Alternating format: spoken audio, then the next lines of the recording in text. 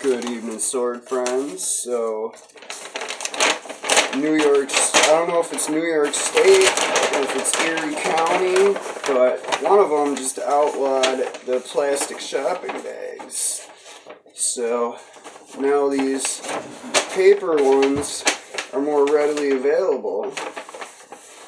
Seeing as I work in a couple retail locations, I'm gonna be flush with bags to cut. So, I've done like the homeless guy booze size ones, fast food ones, but full size grocery bag, something new.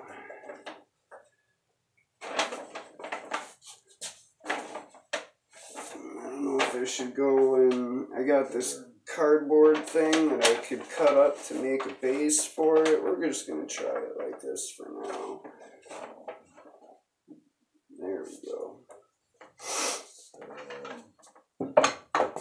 Now, follow my rule, make sure I hit record.